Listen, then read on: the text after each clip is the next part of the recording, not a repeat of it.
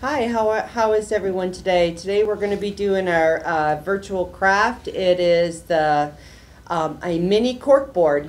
We're going to be using uh, wine corks and um, ribbon. You'll need any kind of ribbon. This I chose a smaller ribbon on this one, but the one I'm making today, I have a larger ribbon. This is fabric ribbon. You'll need a glue gun. Um, you also need a magnet because this is um, this is a magnet. Actually, You can go on your fridge, like so. Um, it also could hang on the wall if you prefer it. You will also need scissors, um, glue sticks, of course, for your glue gun. As a magnet, if you can't find any magnet magnets, you know, um, you get those free magnets from people, like from businesses. Wow. That's what this is. I just cut it up, and it works fine. I mean, we all have a lot of those. I love to recycle.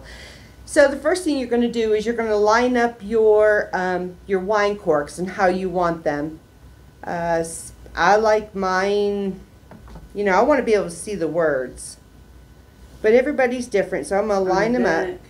Hmm? Or or duck. or the duck because yeah mine has ducks too once you have them lined up how you want them you're going to take your sharpie and you're just going to lightly mark uh, in the center of both.